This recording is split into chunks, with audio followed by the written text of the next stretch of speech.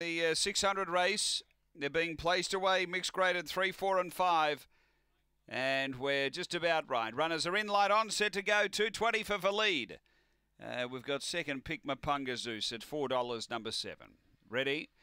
Racing and Valide hopped out okay. It's pushing up. There's some heat coming. It's going to punch up and lead. So Valide gets the front early. Uh, moving up and its outside. Shot through. They match it out of the straight. They bump pretty heavily there as well. Uh, next is Dinah Allison getting the run toward the inside. Mapunga Zeus, but just couldn't take it for the moment. Then Jenny Shiraz and back at the tail is Fled. Down the back. Valide led. Tackled again by Shot Through, who now gets the clear lead. Uh, Dinah Alice making ground. Trying to thread through Mapunga Zeus and out deeper Jenny Shiraz, but on the turn. Shot through, had the lead. Dinah Alice running on. Dinah Alice goes to shot through, and Dinah Alice beats shot through. Mapunga Zeus third and fourth for lead. Then came Jenny Shiraz, and uh, back at the tail end is Fled. The time here is around, in fact, it's 35 and 37 exactly.